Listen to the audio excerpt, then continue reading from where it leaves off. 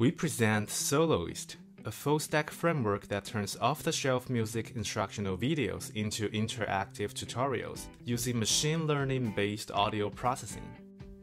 Soloist provides a set of video navigational techniques tailored for instrument learning. It also offers different types of instantaneous feedback to provide a guided learning experience. Please see our paper for more details.